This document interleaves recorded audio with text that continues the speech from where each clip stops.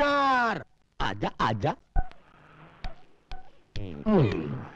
तू हमरी कविता का क्या डिसाइड किया बे? लो तो क्या आपको पता नहीं? अरे आपकी कविता तो हमने पिछले हफ़्ते ही छाप दी। ये ये देखो।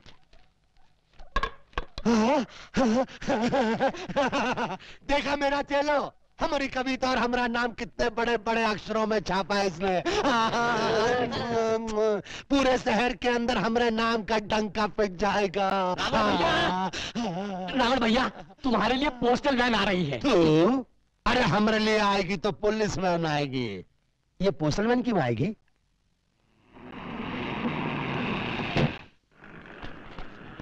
छोटा रावण जी आपके लिए पाँच थैले भर के लेटर आए हैं।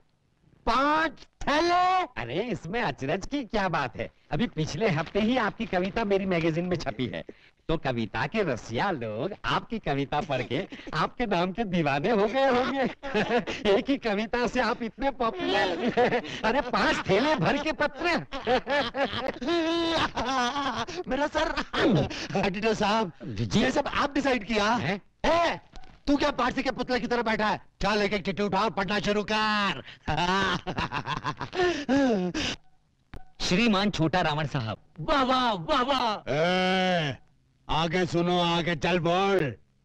पिछले हफ़्ते मैंने आपकी कविता बहन की शादी पढ़ी। वाह वाह वाह बहन की शादी बार बार करेगा अबे गधे।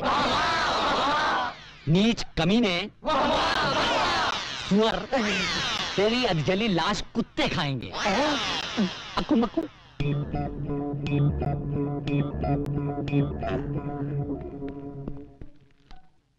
छोटा रावण, तेरी तो गुरु, इसमें तो असली गाली लिखी हुई है।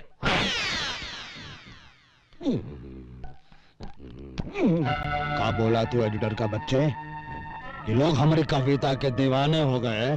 हाँ, बोला तो था। जब हमारी कविता लोगों को समझ में आने के लायक नहीं थी तो छापा कैसे? वो तो मशीन में डाला अपने आप छप गई। ले चलो इस डर को